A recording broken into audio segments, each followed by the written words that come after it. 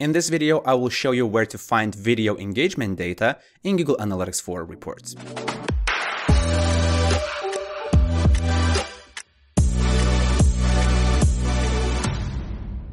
Hey, my name is Julius and welcome to the Analytics Mania YouTube channel, where I teach people how to work with Google Tag Manager and Google Analytics. So if you want to stay up to date with GA4, then consider subscribing to this channel. By default, Google Analytics 4 can track not only page views, but also embedded YouTube video players. But finding video engagement data in reports might be challenging for beginners. So let's take a look at how can you do that. If you go to the admin section of your Google Analytics 4 property, and then in the property column select data streams and click your web data stream, here you will see the enhanced measurement section. By default, it is enabled, and one of the things that it tracks automatically is video engagement events. When I'm recording this video, this applies only to embedded YouTube video players on your website. So if this is enabled and Google Analytics 4 is installed on a website and a visitor goes to your site, clicks, for example, play button on the embedded YouTube video player, then Google Analytics will track that. And then if you go to reports, engagement and events, then in the search field, enter video, you will see several events that are tracked automatically by GA4. If someone clicks a play button, then a video start event will be dispatched. Please ignore this video play because this is a result of some testing that I did in the past. When someone watches the entire video, then you get the video complete event. And if someone watches, for example, 25% of the video or 50%, then you get video progress event. However, if you click on, for example, video start, here you will not find any default parameters that Google Analytics tracks, such as video name or video URL. And in this context, that information is the most important because you don't want to know just the fact that someone played a video. You want to know what kind of video was it. That is why you should go to the explore section right here. And then you will need to create a new exploration. Let's start with blank. And here you will need to add several dimensions and metrics. First, let's start with dimensions. So click plus, then enter event and add event name and then enter video. And here are several dimensions that are automatically tracked and recognized by GA4. Select them right here and click import. Then metrics. Here you should click plus and add event count because we want to know how many times was that particular video viewed, for example. And then another metric could be something like total users.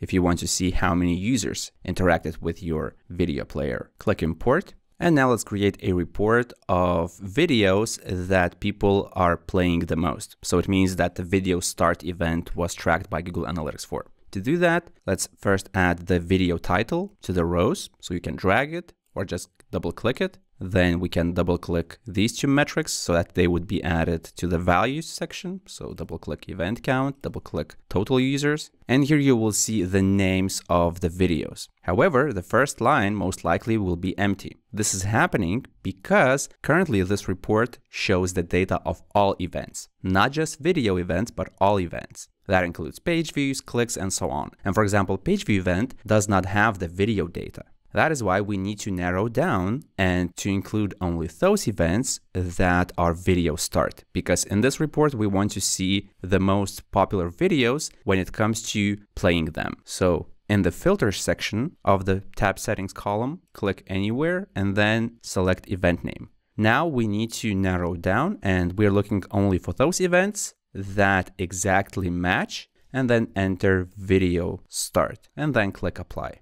And now we see the most popular video titles. We see how many times was each event played, or in other words, the video start event happened. And these are the numbers of users. For example, this particular event was played this many times, and this is the number of users. Since this number is smaller, it means that some users watched or at least started watching the video more than once. Maybe they watched the video one day and then returned the next day and started watching it again. Below this video, you will find a link to a documentation about enhanced measurement events. And if you scroll down to the section of video engagement, you will see those three events that are tracked automatically and you will see what kind of parameters are sent. However, not all parameters are available as dimensions in Google Analytics 4 by default. Because as you remember, we saw three video parameters, or actually three dimensions, video provider, video title, and video URL. Maybe in the future, Google Analytics 4 will add other dimensions that access things like video current time or video duration or video percent. But at the moment, we don't have that as dimensions right here. So if you want, for example, to create a report where you look at a particular video and you look at the percentage of that video, for example, how many users watched 25% of the video or how many users watched 75% of the video. So if you want to use this in your Google Analytics 4 property, you will need to register an event scoped custom dimension in your GA4 property. And you can do that by going to configure in your GA4 property, then custom definitions, and then create custom dimensions. And here you can enter something like video percent or whatever. And then here you need to enter a parameter name that is exactly like this video underscore percent. Right now I'm getting error because I already have that dimension registered before I was recording this video. And make sure that the scope is event. So when you register this dimension, within the next 24 hours, you will start seeing that video percent dimension in your exploration reports. And actually in some parts of standard reports as well.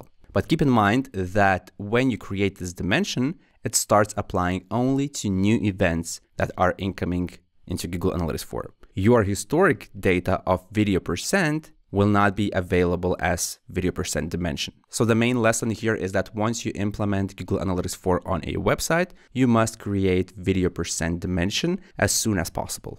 Anyway, in my case, the custom dimension is called video percent. It was created a while ago, so I have already accumulated some data. So now I can go to the exploration in Google Analytics 4 and add that dimension by clicking the plus right here. Then I will enter video and I will select that dimension and click import. Now let's say that I will be focusing on this particular video and I want to see the percentage of how many people watched it at 25%, 50%, and so on. So to do that, first of all, I would need to go to filters and switch from video start to video progress because that is the event that is automatically tracked by GA4. So I will enter video progress click apply, and then I can do, for example, the right click right here, and then include only selections. So this will include only events where video title is this.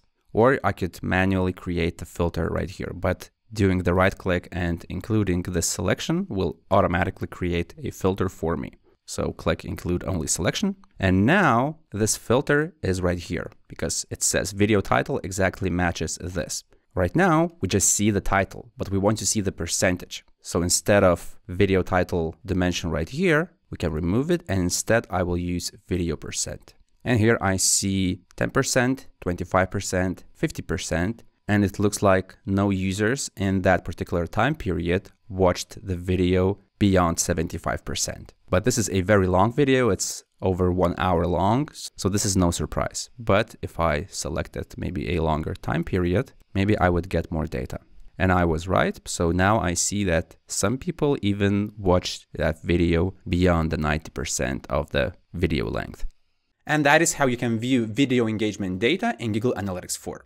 If you found this video useful, hit the thumbs up button below the video because it helps me continue working on this channel. Also, if you want to learn more about Google Tag Manager or Google Analytics 4, then consider subscribing to this channel. My name is Julius, this is Analytics Mania, and I'll see you in the next video.